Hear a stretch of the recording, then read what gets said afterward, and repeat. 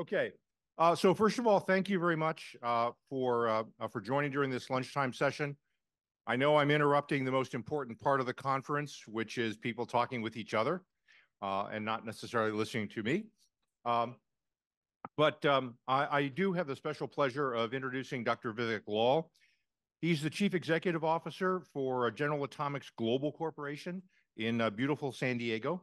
Um, and he sends his regrets because uh, he had to uh, still stay on the West Coast, uh, but still wanted to participate in this important event. Um, uh, Vivek uh, is, a, is a really interesting guy with a large background in a wide variety of technology areas. Uh, General Atomics, as some of you may know, does unmanned aircraft systems, satellite systems, high-powered laser, hypervelocity projectiles, all kinds of things that I, as a space guy, really am also interested in. His broad experience uh, at U.S. aerospace companies, Lockheed and uh, Boeing, uh, as well as, uh, of course, being in, uh, at General Atomics now. So the topic is talking about the roles of, of technology and maybe talk maybe a little bit about the, the role of the diaspora, which uh, you know was brought up just a bit earlier, and, and role in trade. but let me pause right now and turn over to, to Vivek. Vivek, the stage is yours.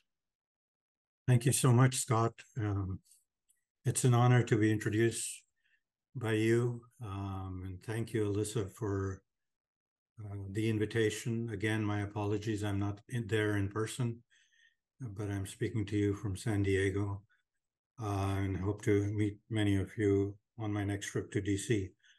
Um, so, uh, relative to the topic on high tech collaboration and defense from a US India perspective, uh, we all know India has made major progress in a number of advanced technology fields and will continue to do so um, in order to expand the technological base to remain a leader in the Indo-Pacific region. This, of course, includes a need to diversify and create additional scientific and technological institutions that attract global talent to further strengthen its indigenous capability in cutting edge technologies and basic sciences. The logical approach, of course, is to deal to deal with the situation is to strengthen existing ties between India and the United States, especially by moving into more substantive collaborations with high technology content. With India's demographics and industrial might complementing US technological entrepreneurism, the two nations form a natural partnership. Given our shared values, this relationship enjoys strong bipartisan support in both countries, and there is great merit to expanding the partnership framework toward a knowledge based economy through formal collaboration in high tech areas of common interest. I believe moving forward in three areas in which international collaboration has long proven successful would be national defense, energy, as well as space three fields in which both the countries are already working together. Because progress in such high technology areas is strongly correlated to overall economic prosperity, properly established cooperation should help keep the two countries at the forefront of the future international political, economic, and social order. Moreover, successful collaborations in these areas is likely to spawn a number of joint India-US efforts in other matters of mutual interest, for example, health, education, information technology, climate change, so forth. Delving a little bit into the defense side of things, defense has emerged as a major pillar over the years, as all of us know, not only in defense trade, but joint exercises, personal exchanges, maritime security, counter piracy. Um, there have been various watershed moments in terms of India being declared as a major defense partner. Uh, India was elevated to strategic trade authorization tier one status. Um, there have been foundational agreements like LEMOA, COMCASA, BECA that have been signed. Taken together, these long established ties and new forward looking pacts establish the framework needed to push ahead with extensive collaboration on a number of high-tech defense activities of mutual interest to both nations. So whether we're talking about intelligence sharing, modern military systems, there has been a, a giant leap in uh, joint capability and activity. The other area, of course, is energy as a national security imperative. And even in energy, we have seen great strides um, from a bilateral perspective, uh, whether renewable energy, and I think there's a lot of potential for advanced nuclear fission reactors, as well as nuclear fusion. Um, those are areas, again, ripe for US and India to collaborate. Uh, I'll come to space because that's, of course, of personal great interest and, um, and, and I see a lot of potential there. The US, of course, is a pioneer in advancing and implementing space technology. Building on the successes of its satellite and moon exploration programs, India is now also joining the ranks of the world leaders in this area. Moreover, there is a strong history of collaboration between NASA and ISRO, which forms a firm foundation for pursuing future collaboration with greater high-tech content. In my view, the most propitious path for such collaboration are Earth monitoring and long-term manned missions. Earth monitoring efforts in support of data gathering for climate change are already underway, as you know. As a worldwide concern about global warming grows, there will be an increasing need for additional satellites to quantify a host of effects on the Earth's surface. India and the US form an especially strong team to take the lead in this area because of expertise in launch and instrumentation technology. Developing space qualified instruments has been a boon to US universities and has helped energize young scientists and engineers around the future of space innovation. The same pattern can be expected in India. India has aggressive plans for manned spaceflight and will soon join the exclusive club of nations who have accomplished this objective. The US plans for deep space exploration are still taking shape under the Artemis mission to establish the first long term presence on the moon in preparation for the next giant leap, sending the first astronauts to Mars. At the center of this mission is addressing the energy challenge. In the case of Mars voyage, the flight time needs to be short enough that astronaut health will not be threatened by the increased radiation dose rate. In the case of sustainable colonies, the need is for a surface energy source that can last for years, but is light enough to launch. In both cases, the favored answer is nuclear technology. Compared to chemical rockets, nuclear propulsion allows for broader launch windows and ability to abort missions. Travel time is reduced materially once in orbit. Nuclear thermal propulsion allows twice the amount of thrust force for flow rate of propellant, and nuclear electric propulsion enables an even higher specific impulse, and order of magnitude faster trip times, a must for interstellar exploration sustaining a colony on another world without a need of, for solar capture or mining of fuel is best accomplished by fission energy sources in a relatively small package. Today, the development of requisite nuclear technologies for space missions is at an early stage. Active collaboration with India would spur the pace of development. Earlier, earlier I mentioned that there's a lot of synergies in, in various areas, but I certainly think nuclear capabilities and ambitions of both countries in this regard, and in particular uh, the application, um, has a lot of merit to be considered. Another area that, since we hear about artificial intelligence so much um, increasingly in our in whatever aspect and domain one is talking about, but I do believe for like-minded nations like the U.S. and India, to have the artificial intelligence based capabilities that'll empower the defense system automation and autonomy need to confront our adversaries, we do need a multi-intelligence synthetic data generation system to satiate the training data requirements for peace and wartime missions.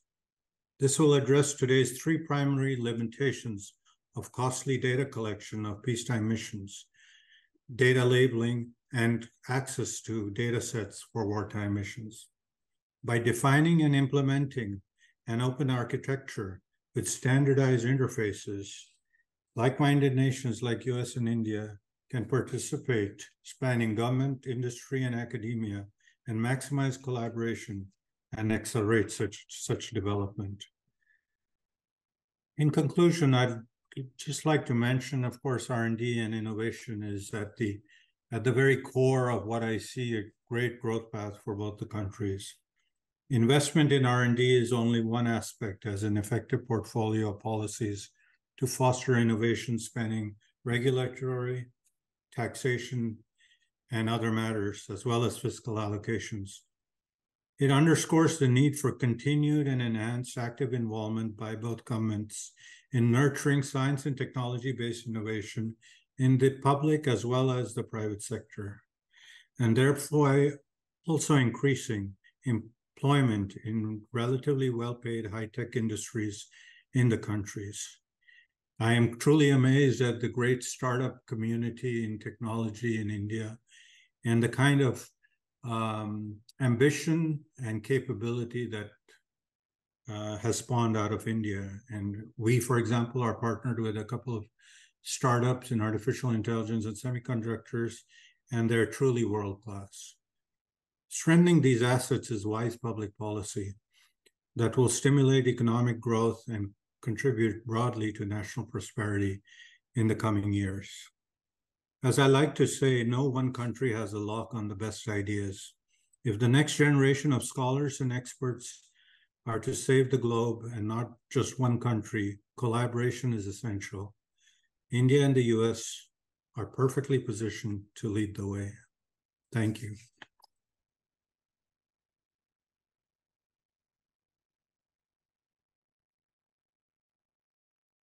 Okay, Vivek, uh, thank you uh, very much. Um, let me let me start by uh, maybe posing uh, a couple of questions. Uh, you know, in the U.S. Uh, system, we have a strong role for universities and also for private sector investment in, in R&D. And someone can correct me, but my understanding in India that there's a lot of government funding of of R&D is is very very dominant. Um, what do you see as the U.S. being able to, or U.S. companies being able to do, uh, if anything, in terms of fostering greater utilization of Indian, not only entrepreneurial talent, as you mentioned, uh, but also un uh, Indian university uh, talent in that cooperation? I think you bring up an outstanding point, Scott. I think for for collaboration, I, I view six stakeholder buckets. One is the political spectrum on both sides. The second is the bureaucratic spectrum. The third is the often missed, but very, very critical, and that's what you're referring to, is the academia, think tank community, and the collaboration therein, and and and really to work with the fourth piece, which was the industry captains on both sides. Um, and then, of course, um, you know you have the, the media and the communications piece as well and eventually the sixth being the the end user and the stakeholder who's going to who sees a value to pay for for whatever the innovation is. Um, and so i think um, it's increasingly happening but i do think that the uh, academic community as well in india as well as uh, you know the universities and institutes they will increasingly be an important catalyst, uh, just like in the United States, to to work with uh, U.S. and Indian industry, but also to work across with U.S. universities in many areas of uh, specific uh, innovation. And the second question um, is, uh, of course, you stress the role of uh, like-minded uh, countries and the increasingly uh, warm relationship between the U.S. Um, and India.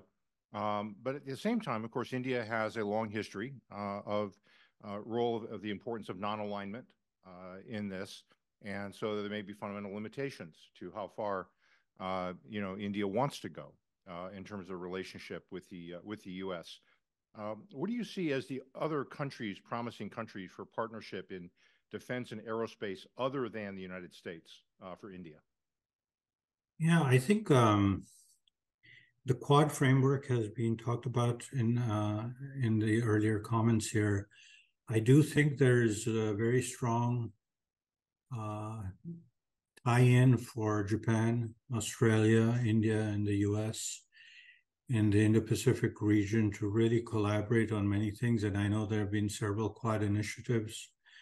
Uh, I'm I'm also on the board of the Quad um, Investors Network, and one of the um, ideas there is to to not just foster um, more technology cooperation, but bring the wherewithal from a financial perspective to to um, to support some of that. Um, I think the startup communities in all these countries I mentioned is is is eager to, to go to the next level.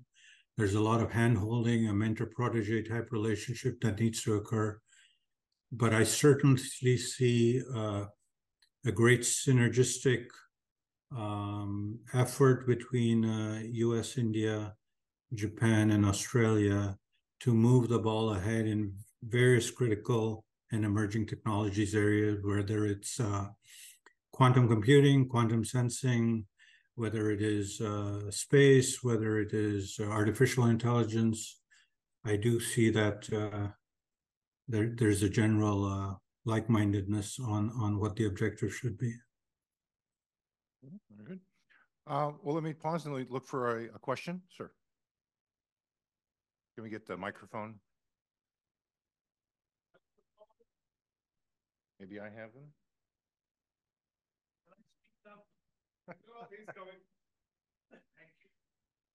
A simple question.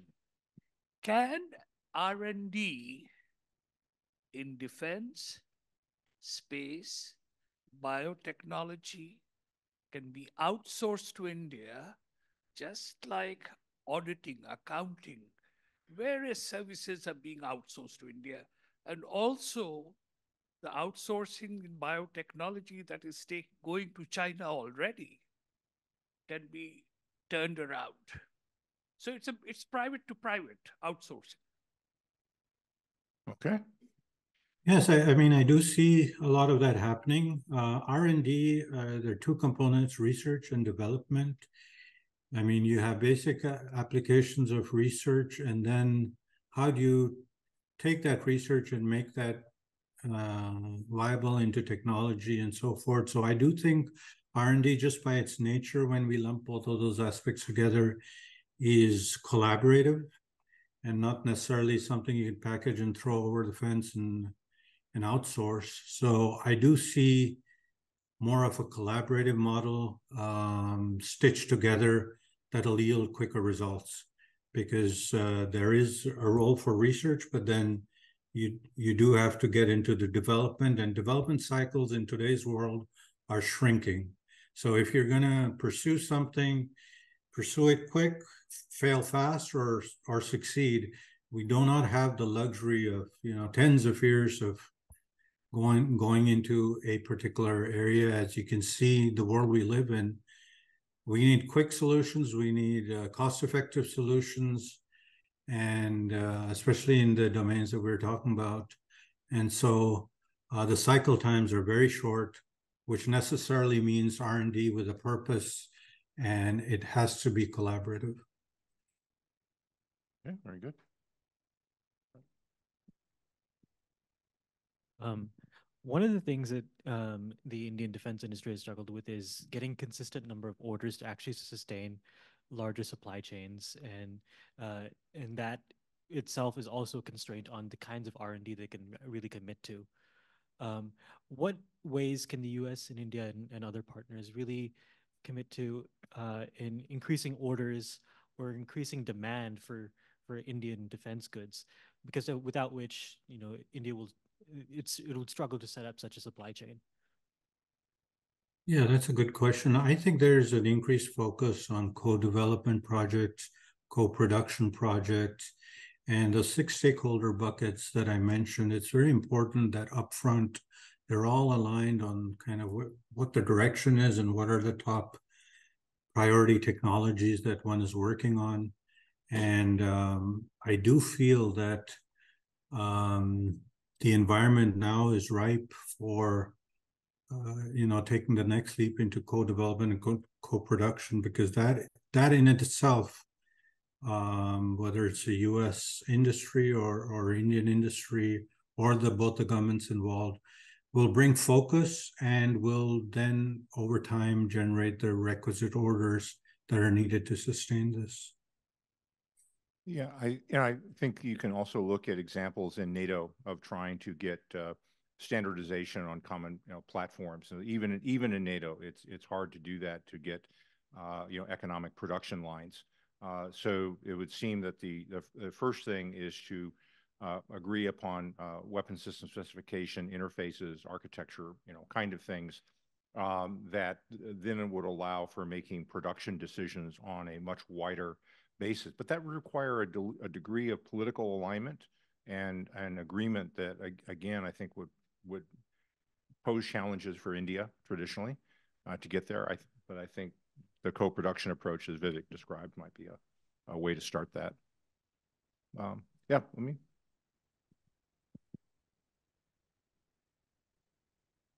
Oh, it's coming. Oh. Hilton Root, George Mason University.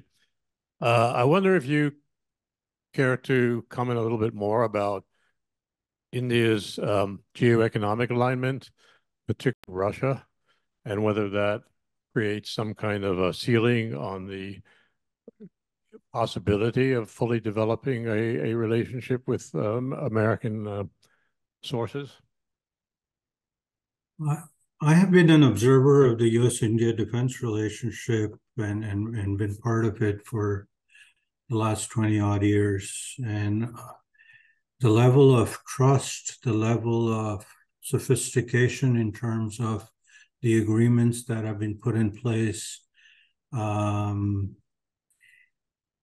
the common objectives, the democratic principles we both work on, give me great hope that um, the trajectory has has yielded, as as you know, there's been over 25 billion dollars of trade between both countries in in um, in defense and, and and only growing.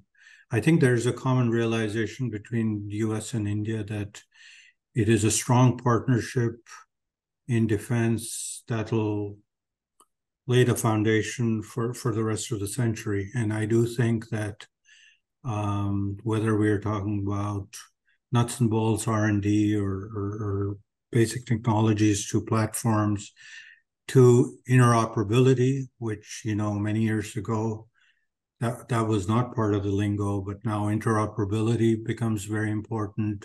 And indeed, people are talking about interchangeability. I think I think the trajectory is very robust and very strong for the U.S.-India relationship. I might also just comment that um, there are there are certainly friction points with respect to Russia in terms of uh, following sanctions, you know, issues like you know oil trade and and so forth. But in terms of space, which is what I probably know more about, and Vivek knows more, much more about, um, you know, Russia is really as is much less of a player. Uh, the Russian space industry has declined really dramatically. A variety of reasons for that. Um, so the past kind of balance that India used to have, say, between the US and Russia or the Soviet Union, really isn't there anymore because the space aspect of Russia has declined so much. And you're not going to see the cooperation, uh, you know, being replaced by India-China cooperation. Um, so it seems like the Quad uh, is is probably the best option for India, you know, in in my opinion. There was a question back there. Uh, thank you for the talk, uh, Dr. Vivek Lall. I'm Ravi. Uh, I also uh, lead a technology company and uh, uh, applying artificial intelligence. So my question was, um, you kind of touched upon the problems of applying like AI in synthetic data generation and wanted to double click on that and understand any specific use cases that you see um, and problems emerge that could be solved uh, apply to aeronautics and like applications for thereof? Thank you. Yeah, that's a good question, uh, Ravi. The you know the typical process today, when using real world data sets collected from real platforms, whether they're aircraft or satellites, can be generalized in the following steps. Right, one is the corpus of data respond corresponding to the desired artificial intelligence or machine uh, machine learning model training. The second would be to organize and curate the data. The third would be to label the data such that the items of interest, whether they're targets, uh, objects, behaviors, they're all identified in each piece of, uh, of the data in the corpus. And the fourth piece is to train the AI model, of course, with the labeled data corpus. Now, all this can be really expensive. And, and I think the challenge will be on the data side. So I'm sure you and your company and others are all working towards it, but certainly in the defense mission space, this will increasingly become an area of uh, focus because I do think we will be getting to multi-intelligence uh, ISR data sources that uh, uh, is, is beyond any one nation and like-minded nations will have to um, work on it together. Very good. a question front. Hi, uh, this is a question uh, looking at the strategic competition between America and China and the role of defense in, uh, in addressing that challenge. And the question for me is that it appears that in a, in a economic defense competition between two countries of roughly equal economic size, which China is approaching America in that regard. The game will be won or lost based upon the fundamental economic efficiency of our defense infrastructure or defense companies. So uh, I take as a data point here that uh, your company just got uh, uh its most recent award, 36 Predator drones for $7.2 billion, which, we do the math, is $200 million plane. Um, and then to look at the question of US-India relationship, my question is this. Do you see any prospect for improving the overall economic efficiency of our defense contractors by collaborating with lower cost countries like India so that America can take whatever number of dollars it wishes to spend, likewise India and other uh, like-minded countries, and get the most bang for the buck so is, is there a way to make our uh, collaboration focused on the question of cost and not just on the ability of technology, which is I, I recognize and accept that that's a very important part in warfare. Right. So I'm I'm not familiar with the specifics of of the transaction you're talking about, but uh, I'll give you an overall response. Um, I think as an industry and as a business, uh, no matter which sector, one is always looking at increasing innovation and lowering costs. Um, and certainly in the defense industry, that's no no different. And um, as I mentioned in my earlier remarks, that is why I see a great synergy between US and India. When you bring innovation and doing things at at a cost-effective price point. I mean, we talk about India's space program, and all of us know of what they have achieved and on, on what budgets. So it's remarkably successful. Um, and so I think there are a lot of learnings both ways.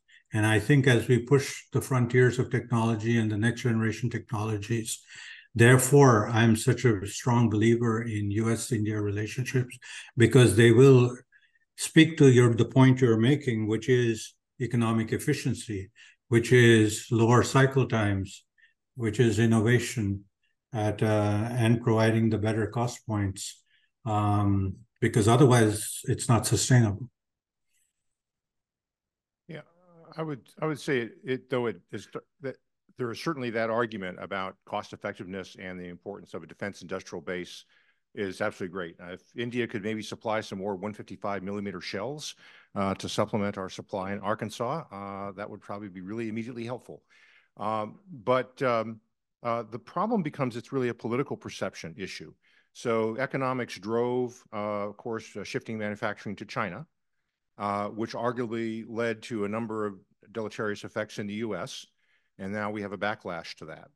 And so the degree to which both India and the US can domestically support cooperation. So what may look like a great idea economically uh, may not be politically doable. There's issues of perceptions of balance, perceptions of alliance relationships, degrees of trust, that sort of that sort of thing. Um, and although I don't think it's anywhere near, there is a potential risk in some of these areas, like uh, in AI, um, for you know India to wind up in the same category as China in terms of perceptions in the U.S. not not being favorable. Um, so I, I think uh, that's a low chance, but it's it's a real chance. Uh, and so how do we blend the sort of economic arguments with sort of the political arguments? And I think Vivek, you know, like your role in in the Quad initiatives, in your role, uh, you know, here in the U.S. and various advisory groups, is really important to sort of building that sense of trust uh, between because we can say like-minded, but people have to live it um, in, in, order to, uh, to, to go forward with it. But, sorry, speech. Let's see. Was there, well, I wanted to ask one thing on a barrier. Um, one of the big barriers we have in space cooperation with Japan on both uh, security and even civil things sometimes is, uh, is cybersecurity. Uh, you know, we uh, aerospace industry just tend to be very critical of cybersecurity uh, capabilities that share. So even though politically we're very aligned, with Japan, um, the cybersecurity is a real risk and, and it's been an impediment. Um, what's your assessment of India's cybersecurity and how much of an impediment do you think that is to closer U.S.-India defense cooperation? That's an outstanding point, Scott. And and you're right. Cybersecurity is, despite all the best will politically and otherwise, um, it is an area of uh, I watch. I think um, learning from the experiences and continued experiences with other like-minded nations, like you mentioned, Japan, I think there is a recognition there in, in the U.S.-India dialogue as well from a space perspective. Um, but yes, if, if there was one issue um, that would be front and center uh, to, to address as we march along here, I, I would completely agree with you. It's cybersecurity. Okay. Maybe we have time for one more question. Um, who wants to try? Okay, we have one brave soul. Go for it. No, no. Um, okay, so my question is regarding security. Um, you've talked a lot about, you know, the US and India collaborating uh, with regards to, you know, like new space technologies and their development and the development of them. Um, so I guess my only question is, to what extent do you think, I mean, the US's like fears about, you know, like technology sharing, like, you know, with like, say, like the F-22 Raptor, stuff like that, you know, what, to what extent does that inhibit, or I guess, what, to what extent does it prevent US, uh, you know, like tech, tech sharing or like, you know, it's, I guess, ability to get involved in that? Yeah. So, um, as I mentioned, over the last couple of decades, the the the relationship has really formed in terms of trust and technology and intelligence sharing and so forth. Um, you know, it's a it's a work in progress. There are several government entities on this side as well as on the Indian side that continuously work through uh, various issues in order to get to a place of increased uh, collaboration.